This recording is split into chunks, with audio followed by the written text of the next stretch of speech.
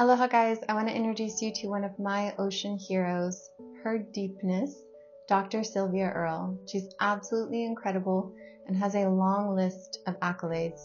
I had the honor and privilege of diving with her in Cocos Island and have followed her work over the years. I hope you guys will be supportive of her efforts and her nonprofit Mission Blue.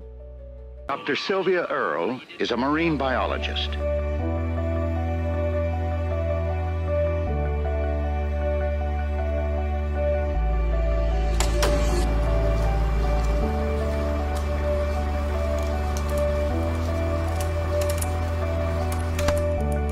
Her nickname is her deepness.